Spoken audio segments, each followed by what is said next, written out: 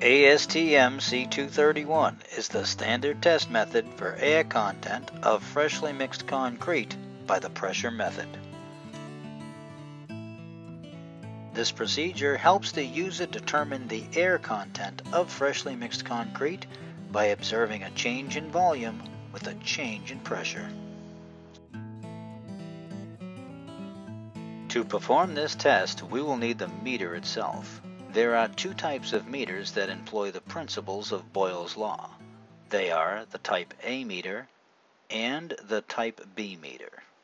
Both are considered to be of satisfactory design. The minimum bowl capacity of any meter is 0.2 cubic feet. Furthermore, it must also have a minimum diameter equal to 0.75 to 1.25 times the height of the bowl.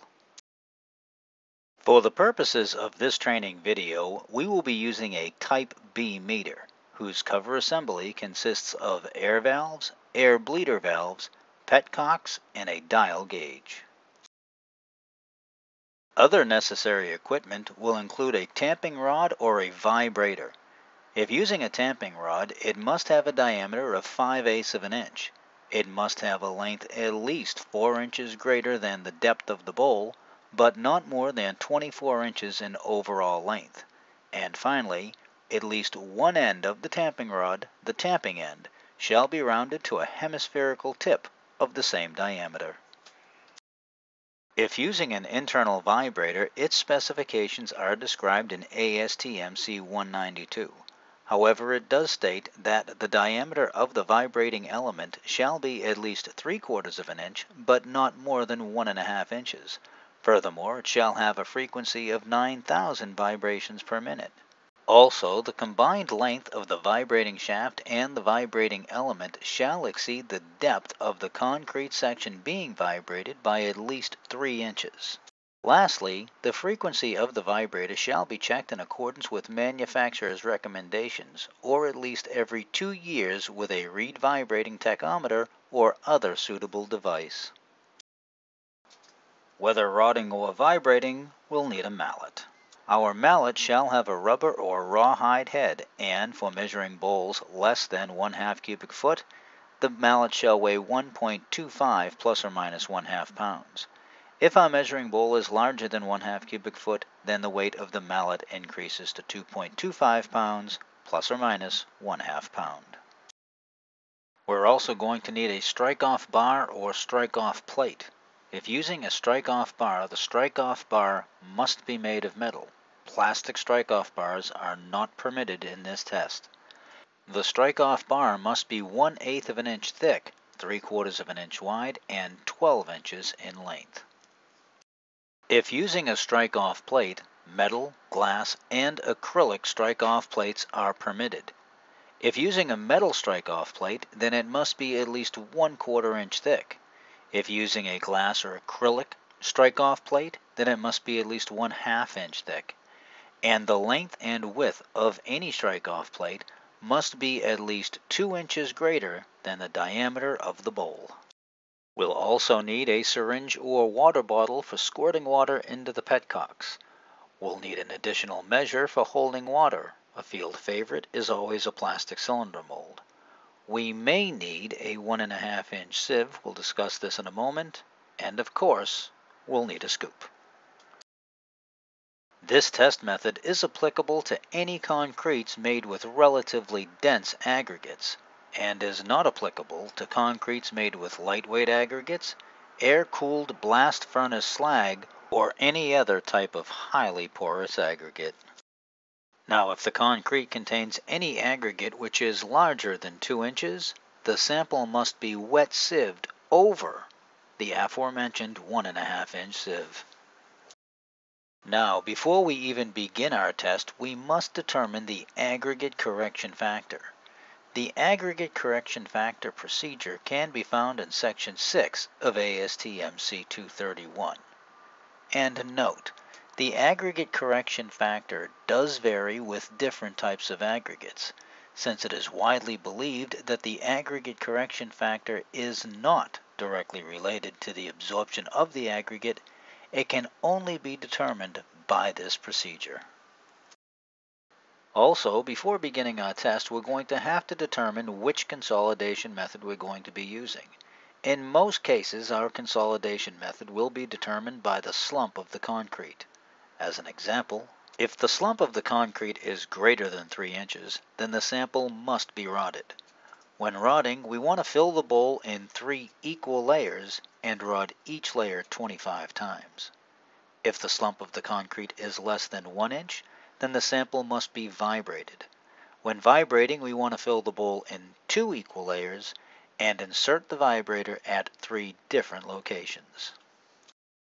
When vibrating, make every effort to be as consistent as possible in regards to the duration of the insertion of the vibrator. Under normal circumstances, it can be assumed that sufficient vibration has taken place when the surface of the concrete is smooth and glazed. Be sure not to over-vibrate the concrete as this may cause segregation and loss of intentionally entrained air. And finally, we never want to vibrate so long as to cause escape of froth from the sample.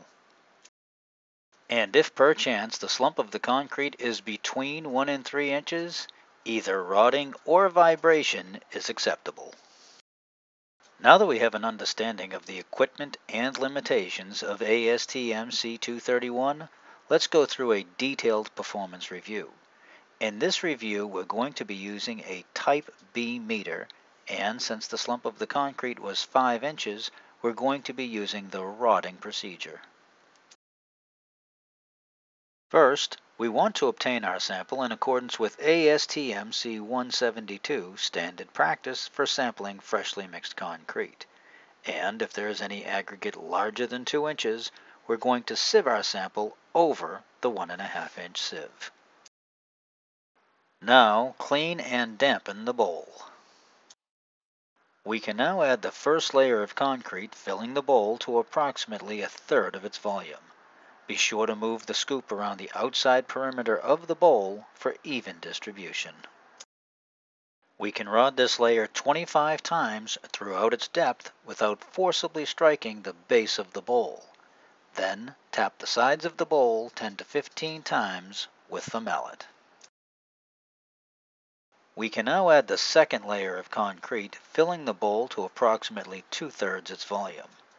Then, taking care to penetrate the previous layer by approximately 1 inch, we can rod this layer 25 times. And once again, tap the sides of the bowl 10 to 15 times. We can now add the third layer of concrete and repeat the rodding and tapping procedure. Note that after tapping the third layer, but before striking off, a small quantity of representative concrete can be added or removed to compensate for a slight deficiency or excess in the concrete. However, one eighth of an inch above the rim of the bowl is considered the optimum. When striking off the excess concrete, we want to press the plate on the top surface of the bowl covering approximately two-thirds of the bowl. In a sawing motion, we want to withdraw the plate to finish only the area which we covered. Now, cover the original two-thirds of the surface and then, with vertical pressure on the plate, in a sawing motion, advance the plate off the bowl. To finish off striking off with a plate, we want to incline the plate and strike several sweeps with the edge of the plate to produce a smooth finish. We can now clean and dampen the rim, flange, and cover assembly. Now attach the cover assembly to the bowl. Close the main air valve and open the petcocks.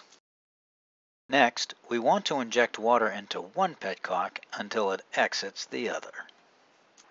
Now close the main bleeder valve and pump the dial to the initial pressure. For this meter, the initial pressure is minus 3. Stabilize the gauge by hand, bleeder valve, or pump.